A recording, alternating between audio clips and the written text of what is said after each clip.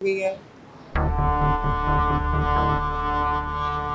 यार आज तक मैंने ये तो सुना था कि दिन में तारे नज़र आते हैं लेकिन आज तो चाँद का दीदार हो गया यार। हाँ यार वो भी इतना हसीन चाँद। हाय इतने हसीन मौसम में इतने हसीन साथी का साथ। हम तो लकी निकले यार। हाँ मगर यार वो कुछ नाराज़ सी लग रही है यार।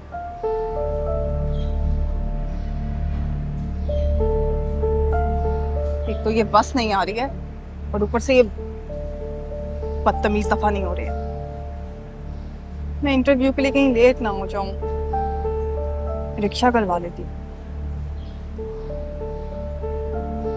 नहीं लेकिन अम्मी की दवाई भी तो ले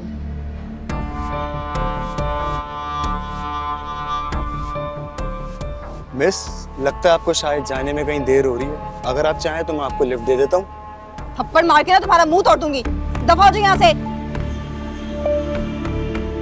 लड़की देखी नहीं कि छिछोरापन शुरू कर दिया तुम